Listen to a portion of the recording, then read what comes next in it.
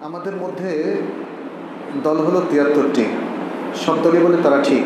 তবে আমি কোন দলে আছি? আর যে দল যে ঠিক তা বুঝব কীভাবে? আমাদের মধ্যে দল তিয়াত্তরটি মানে এই উম্মার মধ্যে হবে রসুল সাল্লাহ সাল্লাম বলছিলেন একটা সহি হাদিসের মধ্যে। কিন্তু আপনি যেভাবে প্রশ্ন করেছেন, তাতে মনে হচ্ছে আপনাদের মধ্যে তিয়াত্তরটা দল মনে বললে দেখা যাবে আরও বেশি। আরও বেশি না? যাই হোক, এটা নিয়ে ওলামে কেরম কথা বলেছেন। যেহেতু প্রশ্নটা সেই প্রসঙ্গে না, আমি সেভাবে উত্তর না দিয়ে মূল প্রসঙ্গে ফিরে আসি। আমরা যে সঠিক পথে আছি, সেটা বুঝব কী করে?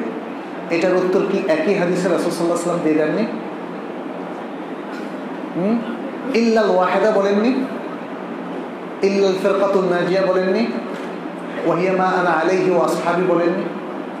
বলে দিয়েছেন রসুল্লাহ সাল্লাহ সাল্লাম এবং তার সাহাবাদের মানহাজ, মেথড জীবন পদ্ধতি, আদর্শ যার উপরে স্থাপিত এবং সেই আমলগুলো যারা করছে, তারাই হলো সঠিক দল।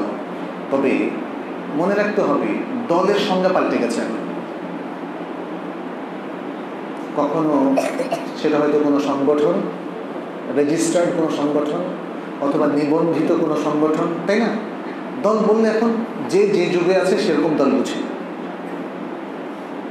অতএব দলকে সেভাবে ব্যাখ্যা না করে দল মানে গ্রুপ অফ পিপল মাজমু আতুমিনান নাস এরা কোনো একটা সংগঠনের আওতাভুক্ত থাকুক অথবা নাই থাকুক।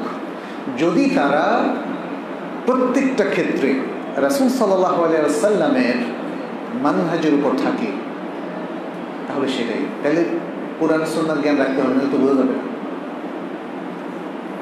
বড় বড় রাত করে তাহলে এই মানহাজের উপর স্থাপিত নয় বলেই বুঝতে হবে। তারপরে যদি কেউ কোনো দিনের কাজ করার জন্য কোনো সংগঠনও করেন, তাকে ইসলামিক নীতিমালা সারাইত টার্মস কন্ডিশনস মেনে করতে হবে। যেমন একটা হচ্ছে ওয়ালাবারা এর ভিত্তিতে হবে না। ওয়ালাবারা হবে আল্লাহর মাহাব্বাতের ভিত্তিতে। অর্থাৎ এই সংগঠনের আওতাভুক্ত লোকরা আপনার খুব পছন্দনীয়, বাইরের লোকরা অত পছন্দনীয় না। এই ধরনের হতে পারবে না। ইসলামে যে কোনো ধরনের একতাবদ্ধ হয়ে কোনো কাজ করার জন্য শর্ত হচ্ছে ওই যে ইনসাফের সাথে সমস্ত মুসলিমকে একই দৃষ্টিতে দেখতে হবে। আপনার দলের লোকেরা ভালো, অন্যরা ভালো না। এই দৃষ্টিভঙ্গি এসে পড়লে বুঝতে হবে যে দ্যার ইজ অবজেকশন